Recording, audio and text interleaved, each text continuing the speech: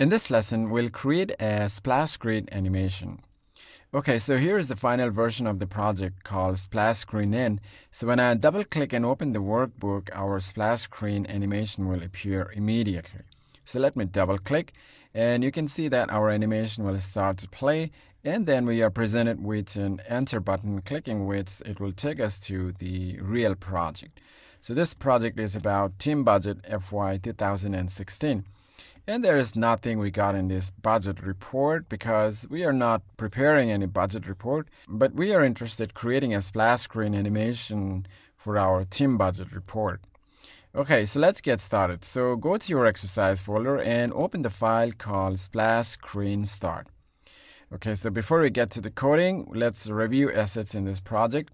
So go to selection panel and here we can see we got just few shapes that you know currently present in our project in worksheet number one. And now here you can see we have a background going on here behind the green background.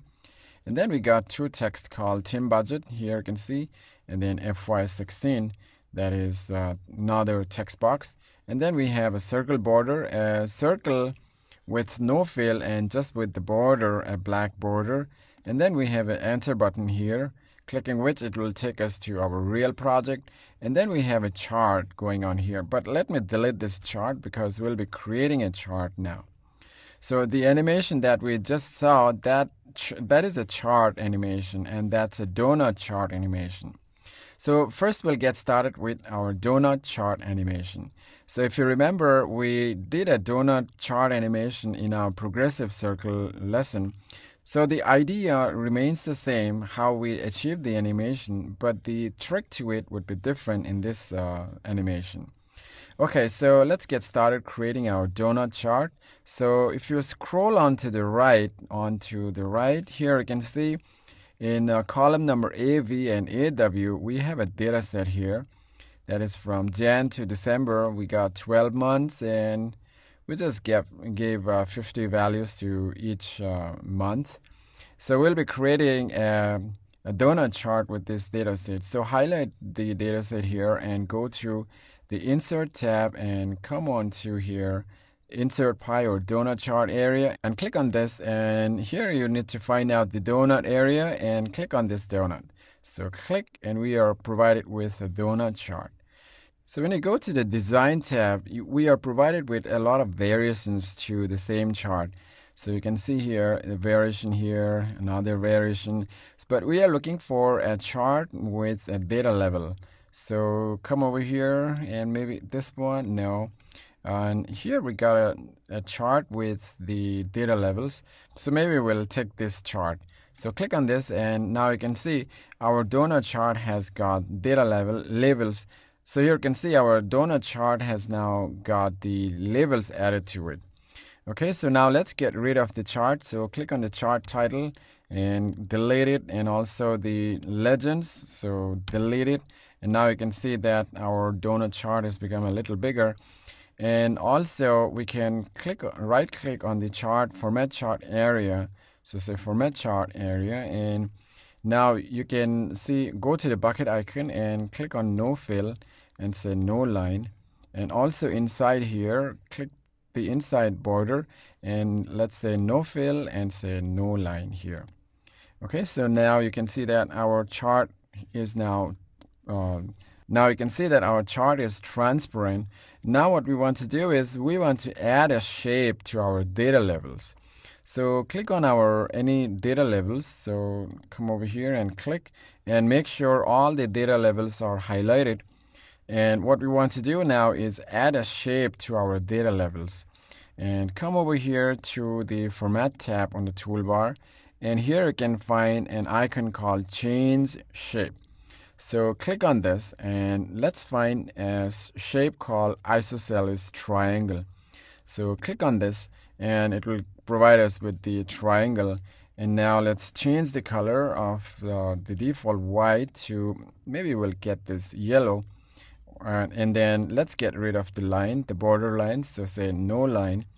And now what we want to do is make these shapes behind you can see our 12 uh, shapes of the donut. We want to make these guys invisible. So So come to the bucket icon and make sure all the shapes are highlighted and say no fill and say no line. Now you can see that our donut chart has become transparent, but we still got this line. So click it once again and go to the bucket icon and make sure the no line is checked. So say check and it should go away now.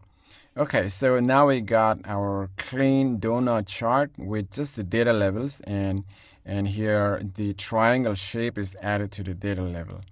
Now we also want to get rid of this uh, percentage. We just want to, you know, uh, get the uh, shape with the month name. So click on the data level shape and go to the fourth icon in the data format data levels and click on this and let's click on the check the category name.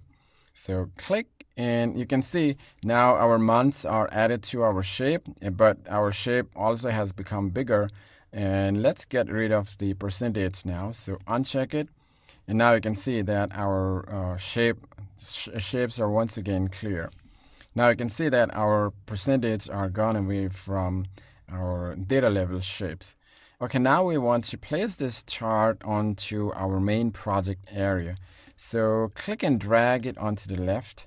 So here you can see that we already have a circle at in the center of the project. So let's uh, get this guy into that location. So get this some more. You can also copy and paste but I will just push it onto the left.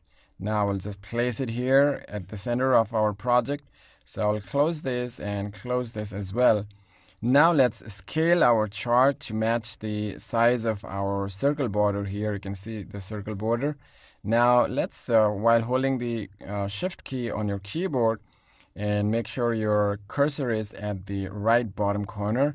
So click and drag to scale it uniformly. Okay, now we'll just place it at the center. Maybe we can make it a little more bigger, so I'll just drag a little more.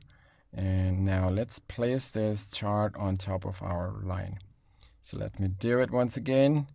And very you need to be very you know precisely placing it so let me place it from the left on the top maybe uh, from the bottom maybe now yeah it is sitting right uh, on top of our circle maybe our chart is a little big now so let's shrink it a little and now I will just uh, place it on our circle. Okay, now that our uh, the chart is you know sitting on top of our circle, we are ready to start animating our chart.